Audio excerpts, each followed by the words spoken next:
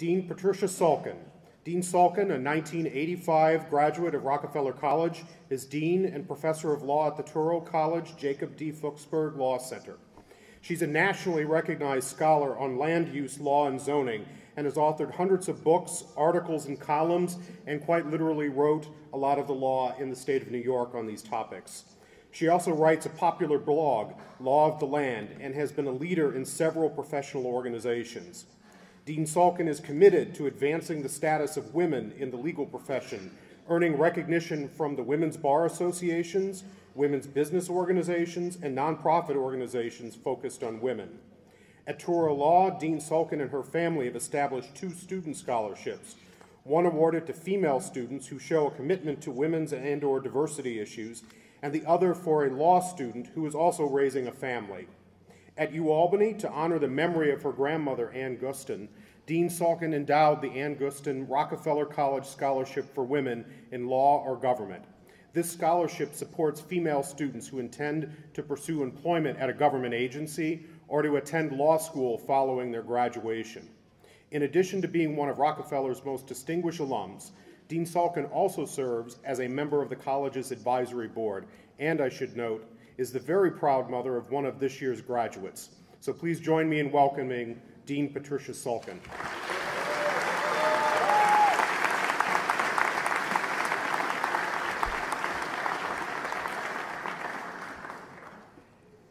Dean Rethemeyer and members of the faculty, thank you for the honor of joining you here today. Although I'm not so sure after listening to Barbara Smith and Peter Hooley and then uh, listening to Brianna and Rose, I now have four really tough acts to follow. Most important, I want to say uh, for myself, good afternoon and congratulations, class of 2015. And of course, a very special shout out to my daughter, Sydney Gross. Sydney, you demonstrate every day that anything is possible and that you were born to make a difference. You make Dad and I very proud.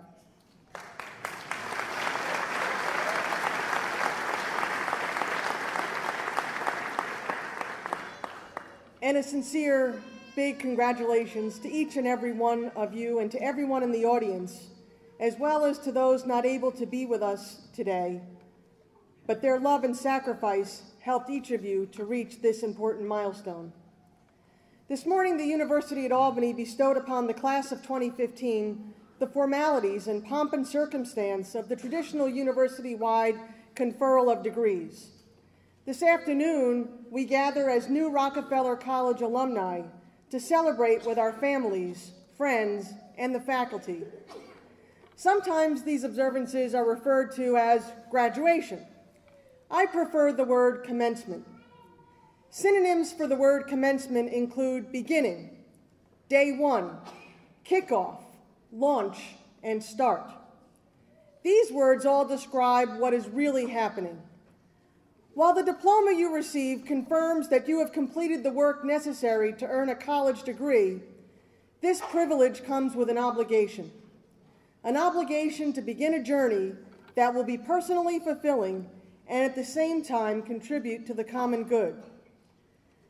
You are graduating with degrees in political science and public policy. Some of you are going on to graduate work in a variety of disciplines. Others of you are planning to enter the workforce. You will soon experience the reality that graduates of Rockefeller College simply have a higher calling. Whether you realize it today, a long and distinguished list of Rockefeller College alumni demonstrates that many of you will pursue careers in government or in the nonprofit world in positions of advocacy to advance public policy and government reform. As a group, this class, like the Rockefeller alumni who came before you, are caring and passionate individuals who will make a difference in this world. I am confident that walking across this stage today, we have future presidential, congressional, gubernatorial, and state legislative candidates you will see future judges, agency commissioners, and others who will be influential in government and governance. You will see executive directors of nonprofit organizations, and you will see social engineers who will challenge the established order and so-called conventional wisdom to get our communities on better paths to brighter and fairer tomorrows. You graduates have been equipped with the tools to be leaders, and I have no doubt that you will use them to good effect. Your talent and commitment is truly needed now more than ever.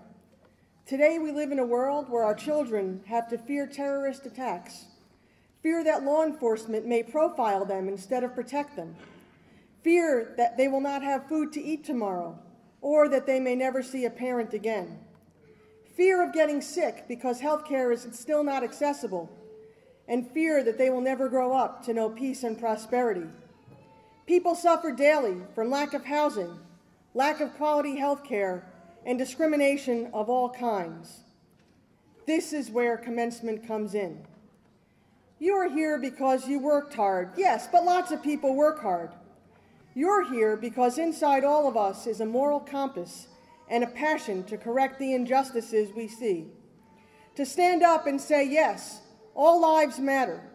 To help people get jobs to ensure that no one in this nation goes to sleep hungry, to continue the fight for access to a quality education for all children, to address daunting health care costs, to ensure that everyone has a safe place to live and raise a family, and to ensure access to justice and the protection of our constitutional rights.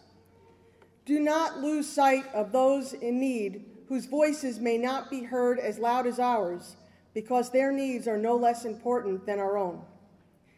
Anne Frank wrote, The final forming of a person's character lies in their own hands. I challenge you, graduates, ask yourself, who is the person that you are going to be? What will your character be? Will you help others? Will you give back to the communities that raised you and to the people who lack the resources to help you even though they wanted to? Will you speak for those that have no voice? Will you kneel down and let others climb up and rise on your shoulders, helping those who will follow to be as successful? Will you be a door opener instead of a door closer? One of my heroines is Kate Stoneman, a graduate of the University at Albany when it was known as the Normal College. Kate was the first woman to be admitted to the bar in New York after she went to the state legislature and the governor in 1886 to get the law changed to allow women to be admitted to the bar.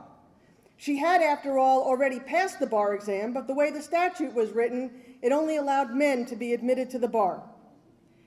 An activist in the suffrage and temperance movements, Kate had this message for young women quote, They must take their opportunities as they come. Always there are opportunities to be had. Class of 2015, take your opportunities and fly. I look at you and I smile because I see hope. Because I know that some of you are already working in jobs that will enable you to help others every day. I know some of you have already had a hand in shaping public policy. And I know most of you experienced that good feeling inside when you volunteered for community service and saw the smile on someone else's face or heard that whisper of a thank you from a total stranger because you know that you had done something good for somebody else. The public often takes for granted ingredient labels on food products these days. They often consist of bewildering lists of obscure ingredients, incomprehensible nutritional values, and scary warnings about the misuse of the products. To my knowledge, though, no one has yet tried to design a label for a college diploma, so I've taken the liberty of suggesting one for you. Ingredients energy, enthusiasm, passion, desire, creativity, curiosity, ingenuity, ambition, grounding, self awareness, commitment, drive, confidence, individuality, and resiliency. And I must note the warning on the label says it contains trace amounts of uncertainty. The directions Use immediately for best results on the journey. Combine ingredients in this diploma to begin testing the limits of the mind to explore and uncover endless possibilities. Do not wait for others to begin first. Rely on yourself to arrive at creative solutions and innovative discoveries that will advance the understanding of the world and its component parts. Experience public service. For best results, always act with the utmost integrity and honesty. Incorporate values based on your own tradition to remain centered. Maintain a sense of social justice. Listen and reflect before making a move, but take calculated risks. Never lose your optimism and the belief that you possess the skills and knowledge to meet personal goals and to achieve a sense of accomplishment. Give back and be philanthropic. Warning failure to use the ingredients properly to make a difference may result in an unsustainable future for all. Guaranteed. If not fully satisfied, review and refresh ingredient list and repeat directions as needed. May require multiple attempts to achieve desired outcomes. Success will result in time. Class of 2015, you are our future, and the future is what you make of today. Keep your eyes on the prize of seeking justice and fairness. Never give up until the work is done. And Sydney, you know it wouldn't be me if I didn't end with words from one other important woman, woman, Eleanor Roosevelt, who said, "The future belongs to those who believe in the beauty of their dreams." Dream big, class of 2015, and I look forward to reading about you in the Alumni Magazine.